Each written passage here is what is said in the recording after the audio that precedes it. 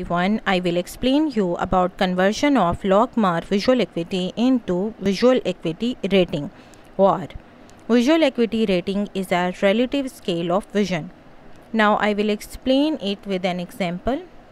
For example we want to convert one logmar visual acuity into visual acuity rating VAR VAR Mathematical formula of this conversion is 100 minus 50 into logmar 100 minus 50 in bracket within bracket 1 and according to DMAS rule divide multiply add and subtract rule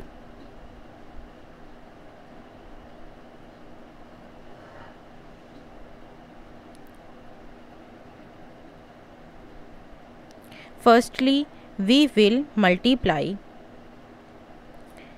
50 with 1, it will become 50 and then we will subtract 100 minus 50 is equal to 50 var. Now 1 logmar is converted into 50 var visual acuity rating. Thank you for watching my video and for more such optometry lectures subscribe my YouTube channel Optometry World.